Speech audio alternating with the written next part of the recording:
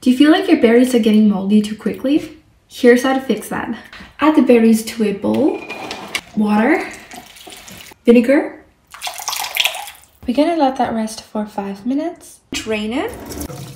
Wash with more water to get the vinegar out. We're gonna throw away the container it came in because of the molding agents and we are gonna get a new container. Add some kitchen paper and now your berries won't get moldy or soggy very quickly.